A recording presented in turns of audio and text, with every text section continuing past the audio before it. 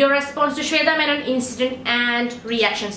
നമ്മുടെ നാട്ടിലൊരു അറിയപ്പെടുന്ന നടി ഒരു സ്റ്റേറ്റ് അവാർഡ് വിൻ ചെയ്ത നടീനെ ഒരു പൊതുവേദിയിൽ വെച്ച് ഒരു ജനപ്രതിനിധി തൊടം പിടിക്കുകയൊക്കെ ചെയ്തു. അത് ഇത് എന്താ പറയുക ക്യാമറ മുഴുവൻ പകർത്തിയിട്ട് നാഴിക്ക് നാൽപ്പത് വട്ടം എല്ലാ ചാനലിലും സംപ്രേഷണം ചെയ്തുകൊണ്ടിരിക്കുന്നുണ്ട്. അത് കണ്ടിട്ട് ചില നമ്മുടെ മലയാളി സഹോദരന്മാർ കുറെ കമന്റ്സ് അല്ലെങ്കിൽ റിയാക്ഷൻസ് ഒക്കെ ഇട്ടു. അപ്പോൾ അത് കണ്ടുകൊണ്ടാണ് ഞാൻ ഈ വീഡിയോ ഉണ്ടാക്കുന്നത്. അപ്പോൾ അവരോട് എനിക്കൊരൊറ്റ കാര്യം പറയാനുള്ളൂ. നാളെ നിങ്ങളുടെ അമ്മയ്ക്കോ പെങ്ങൾക്കോ ഭാര്യയ്ക്കോ മകൾക്കോ അല്ലെങ്കിൽ വീട്ടിലത്തെ ഏതെങ്കിലും ഒരു സ്ത്രീക്ക് ഇങ്ങനെ സംഭവം ഉണ്ടാവാതിരിക്കട്ടെ.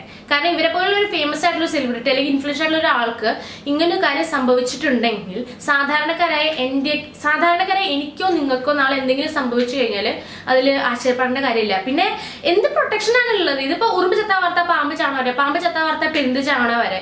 ഇതിപ്പോ ഒരു within three days hundred and percent sure ആണ് ഈ ഒരു ന്യൂസും കെട്ടടങ്ങുന്നുള്ള കാര്യം. മാത്രമല്ല കേരളത്തിൽ നിന്ന് ഇപ്പോൾ ഈ കഴിഞ്ഞ ഒരാഴ്ചയിൽ എടുത്ത് നോക്കുകയാണെങ്കിൽ ഇതുമല്ല ഇതിലും മോശപ്പെട്ട അല്ലെങ്കിൽ ഷോക്കിംഗ് ആയിട്ടുള്ള ഡിസ്റ്റർബിംഗ് ആയിട്ടുള്ള കുറേ ന്യൂസുകളാണ് കേട്ടുകൊണ്ടിരിക്കുന്നത് മുഴുവൻ. എത്ര എത്രയോ ഇൻസിഡൻസ് ആണ് ഇപ്പോൾ അങ്ങനത്തെ മാത്രം കേട്ടുണ്ട് അപ്പോൾ എനിക്ക് തോന്നുന്നു it's high time for a change ഒരു ശക്തമായിട്ടൊരു നിയമം വരേണ്ട കാലം അതിക്രമിച്ചു കഴിഞ്ഞിരിക്കുകയാണ്.